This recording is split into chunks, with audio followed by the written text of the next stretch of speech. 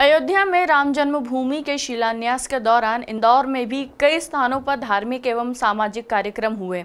इस अवसर पर शहीद हेमू कॉलोनी की प्रतिमा पर राम नाम के गुब्बारे आकाश में छोड़े गए। राम जन्मभूमि का जश्न देश में छोटी दीपावली के रूप में मनाया गया।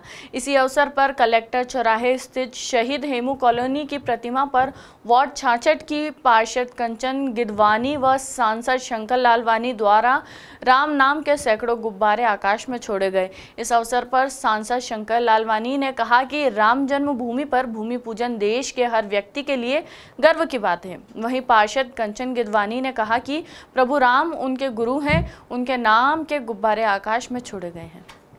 आज सालों बाद का जो सपना आज पूरा होने जा रहा है, माननीय प्रधानमंत्री मोदी जी का हम धन्यवाद करते हैं। उनके मोदी जी के इतने प्रयत्न से और इतना अच्छा काम हो रहा है।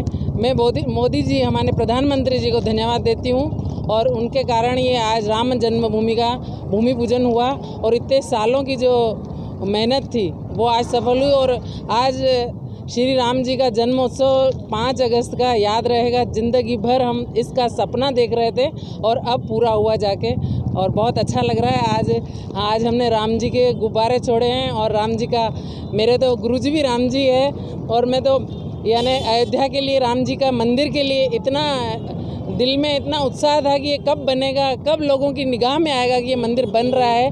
आज भूमि पूजन हुआ है, बहुत मन हर्षोल्लास से सभी, यानी पूरे इंदौर वासी बहुत खुश हैं और आज सब दूर बहुत दिवाली जैसा मनाया जा रहा है। देखिए, पूरे शहर में आज उत्साह का वातावरण है।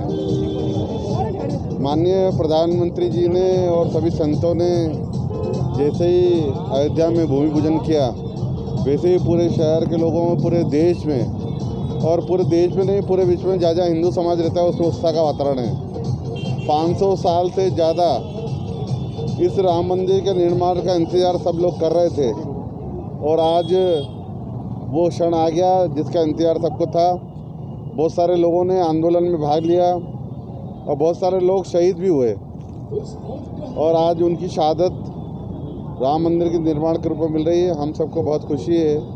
और आज यहाँ पर पार्षद कंचन गिदवानी ने हेमू चौराहे पर एक अनूठा कार्यक्रम रखा है।